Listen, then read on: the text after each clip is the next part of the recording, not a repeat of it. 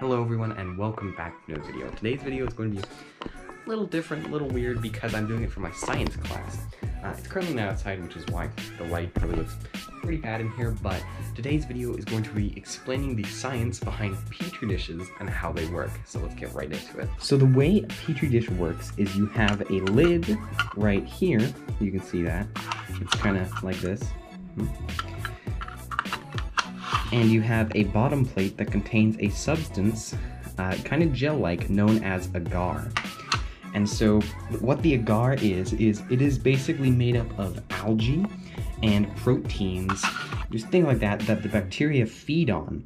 And so the purpose of a petri dish is to take a cotton swab, rub, you know, your keyboard, your hand, the inside of your cheek, like you do at a doctor's appointment, and then rub it on the agar. And what this does is it essentially gives the bacteria an ideal place to grow and reproduce themselves because they have a virtually infinite food source because while this doesn't look like much agar, it is enough to feed quite a lot of bacteria as you know, of course, they're very small. And so what we're going to be doing is we're going to be swabbing my keyboard with a cotton swab, putting it on this agar plate, and then we're going to be putting it in the closet and I will check back in with you in about a week, just under a week, and we will see how it's grown. And so what I'm going to do now is I'm going to get a cotton swab, I'm going to wet it, because that's what you're supposed to do and I'm going to wipe it on these keys of my keyboard and we're going to see how much bacteria grows after a week. And this is an experiment that actual scientists do to study how bacteria grows uh, and you will be able to actually physically see the bacteria in a week. So let's go do the cotton swab really quick and then I will check back in with you in a week. Okay, so first off, my apologies about the bad lighting in here. It is nighttime and I do have my RGB lights on, but it is still not really enough to make it for the glow of daytime. So anyways, what you're gonna do is you're gonna take your cotton swab. These will come with your packet of Petri dishes. You're gonna dip it in your water source of choice. Make sure it's relatively clean. This is just my water bottle. I know the water in there is clean, so it's fine. Swirl it around. You'll be able to feel the water on it. Ah, that's my cute. That's my Q-tip packet. Uh, you know, it'll be a little drippy, but it doesn't have to be completely soaking. So then, what you're gonna want to do is you're going to get the excess water off of that, just like so. And then you're gonna swab those keys on your keyboard or wherever. It could be the inside of your cheek.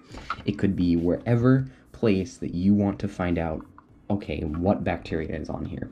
So we're gonna swab the W key, we're gonna roll it around, get it all nice and in there. And we're gonna repeat that for all four of the keys. The D key because if you play PC games, you will know that these are the movement keys, and so these are the ones that you will hold the most by far. So you're gonna swirl it around, make sure you get some on the tip, completely get all those. And the next part, I'm not going to talk because you're not supposed to actually talk when you open this lid because you can contaminate it with your molecules from your breath. Because yes, that is how far your breath part uh, particles will travel. Uh, so I'm going to open the lid and then I'm going to rub this cotton swab all over.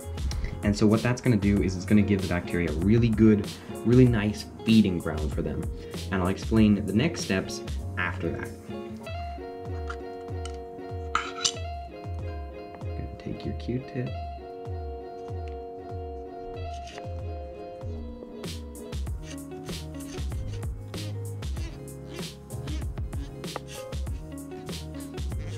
And rub it all over.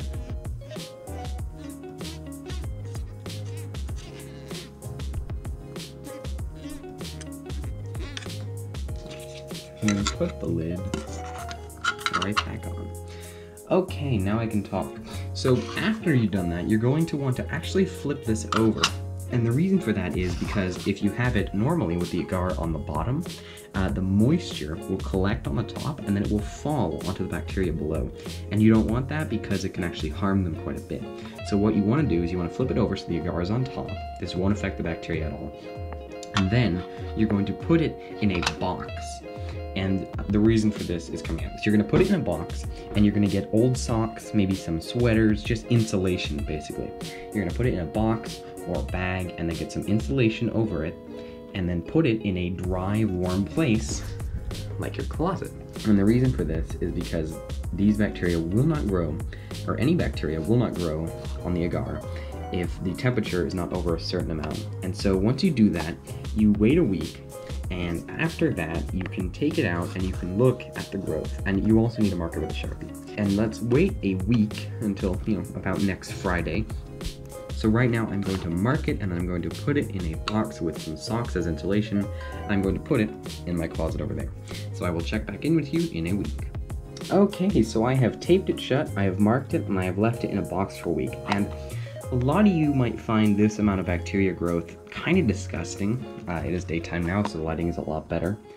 Um, I think uh, it's pretty fascinating. So you can see all the bacteria growth all over there. That's all where I swabbed. This is actually one of the worst petri dishes in terms of bacteria growth because I have two others that I also made here. And this one is by far the best. So this I took from the inside of my cheek. Um, and it has just a little bit of growth. You know, you can see some spots there, but it's really not too bad compared to the keyboard one, um, which is good. I don't want that many bacteria inside my cheek, even though they're totally natural. Now this one is a good example of why you should wash your hands, because this side is taken from a clean hand. This is after I wash my hand. This is how much bacteria growth is on there after a week. I'll show you, see if you can get a little closer. So it's very reflective, so it's kind of hard to see, but you can probably get an idea, if the camera will focus, of um, how much bacteria growth there is. And this side is from a dirty hand, so you can already see that the clusters are much denser, and they're much larger, there's a lot more of them. If you look at them combined, you can clearly see the right side has a crap ton more bacteria. And here's the thing, any one of these bacteria could represent the coronavirus on your hands, so obviously you want to have less and less of them.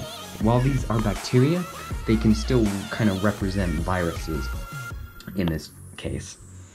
And so you can see a clean hand here and a dirty hand here. So the dirty hand, I would say, is at least two times as dirty as the clean hand. There's a lot more bacteria growth on here.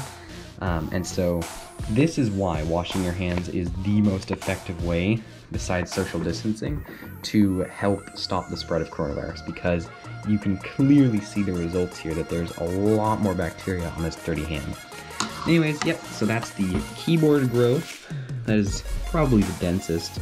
Those are really, really concentrated around the swabs. They're very, very kind of thick in growth. And uh, a lot of you definitely might find this disgusting, but I find it pretty cool. So you have a lot of growth there, and you have a lot of growth on the dirty side, not so much the clean side, which is good. That's proving why washing your hands is so important. And then you have the cheek one. And uh, yeah, this is a cool experiment you can do at home. If I get some comments about it, I can link like 20 bucks for like 10 petri dishes and enough cotton swabs to do them all. It's really, really cheap. It's really, really cool. It's a fun science experiment you can do at home to grow your own bacteria. So thank you so, so much for watching. I hope you learned something about petri dishes today, and I will see you in the next vlog.